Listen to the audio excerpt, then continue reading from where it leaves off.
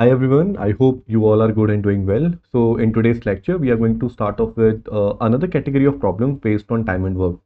So if you try to recall, so in the very start of the first lecture, I had discussed that there are two category of problems which we have to cover under this topic time and work.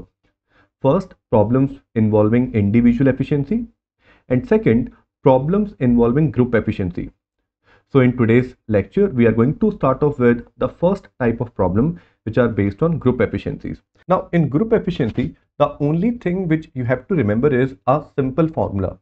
Let me write down that formula first. Work is the product of men into days into hours. In some cases, we'll be using one more variable that is efficiency. So these are the two formula which you have to remember. And guys, see, uh, remembering these two formula is very easy. So you must have heard of that advertisement MDH, MDH, MDH masale. So from that you can recall कि group efficiency के problem में हमको जो formula use करना है it is m into d into h where m is men d is number of days and h is representing number of hours uh, at times they'll also introduce one more variable that is efficiency so in that case we have to use the other formula let's start with the first problem uh, if 20 men working for 6 hours every day can finish a task in 40 days, in how many days working for 8 hours every day can 30 men finish the same task? So if you see the situation carefully, uh, in the first case, the number of men are 20. So there were 20 men and they were working for 6 hours every day such that they are able to complete a task in 40 days. So in 40 days, they have completed a task let's call that work as T or that task as T. Now the question is if the same task uh, will be performed by this new group, new group containing 30 men working for 8 hours every day. So in how many days they would be able to complete the same task? क्योंकि task same है so let me assume the value of task is t only. तो जो task पहले था वही task अभी भी है. Now all you need to do is using this formula you have to make two equations for the two cases. So the first case number of men are 20. How many days they have worked 40. Uh, हर दिन कितना काम करेंगे six hours और इस तरीके से वो एक वर्क करते हैं जिसको हमने टी अज्यूम किया था अब यही काम अगर एक दूसरा ग्रुप करता है जिसपे 30 मैन है which work for eight hours every day so in how many days तो हमको ये फाइंड आउट करना है कि कितने दिन में तो मैंने इसको एक्स बोल दिया same come. So to answer this question, there can be multiple ways you can solve these two equations simultaneously. But a better approach would be if I just divide these two equations, I will get my answer in no time. See what will happen. This t will rule out this t. And now if you see this thing carefully, this 0 will rule out this 0. And what can be done? 8, 1, 8, 5, 3, 1, 3, 2. So from here, you get the value of x. Just take x to the other side and in the right hand side, you have 5 to 10 and 10 to 20 now even if you think common sensically तो अगर तुम देखोगे, इस नए group में जो number of main हैं they are more तो ऑब्वियसली जो काम था, वो थोड़े जल्दी हो जाएगा। एंड सेकेंड वेरिएबल अगर तुम देखते हो तो जो पहला ग्रुप था, वो सिक्स आवर्स काम करता था।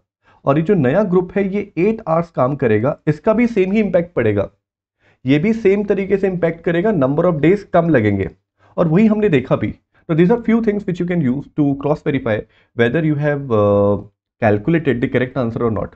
देखो मैं ये तो एंटिसिपेट कर पाया ना इस छोटे से ऑब्जर्वेशन से कि जो नंबर ऑफ़ डेज़ हैं वो 40 से कम होंगे। क्योंकि पहला ग्रुप अगर 40 डेज़ में कर रहा है तो दूसरा ग्रुप जिसमें नंबर ऑफ़ मैन ज़्यादा हैं वो are working for more hours every day तो डेफिनेटली इस काम को वो जल्दी कंप्लीट करेंगे। And this is what my answer is representing let's go to the next question based on the same type please see So instead of reading this problem, let me write down this data for you. So there were 15 men. They were working for 9 hours every day at an efficiency. So here they have introduced an extra variable efficiency. So their efficiency was n and they can finish a task. Let's call this task as t for now and they can complete it in 12 days. Uh, in the next statement it says in how many days so we have to again find out the answer in terms of number of days let's call it x can 36 men working for 5 hours every day at an efficiency? Please note down यहाँ पे जो efficiency है, वो previous efficiency की three fourth है। So three by fourth of the previous efficiency finish the task which is 25% more than the first task.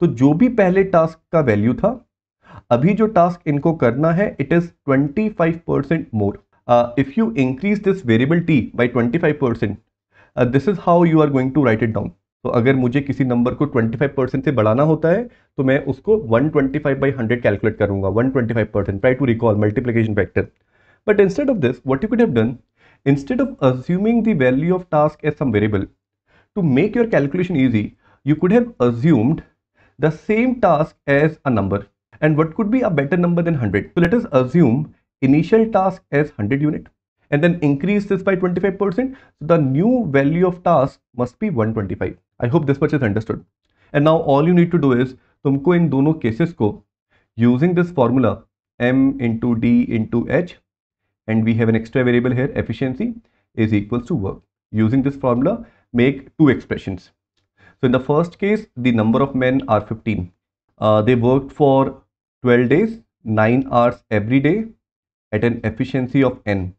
And this way they have completed this task of 100 units. Now the new group has to complete uh, 125 units of task where the number of men are 36 and they are working for 5 hours every day at an efficiency of 3 by 4 of the previous. And we have to find number of days. Let's call it x. And now the easier way is divide the two equations. Now once you divide c 25 into 400 25 5 125 okay if you look at this 3 by 4 carefully i can take this 4 in numerator directly i hope this much you understand okay now what we can do is see 5 3 is 15 so let me cancel 15 in numerator then 9 into 4 is 36. Let us cancel 36 from denominator. What else can be done? 4, 1 and 4, 3. So to get your answer, we'll take this x to the other side and I'll take 5 to the other side. And also guys, n will be ruled out because it's a common variable. 5 into 3 will give you 15 days. So I hope you were able to understand how easily I can uh, convert these cases using uh, one of the two formula and uh, then by solving the two equations, I can get my answers very quickly.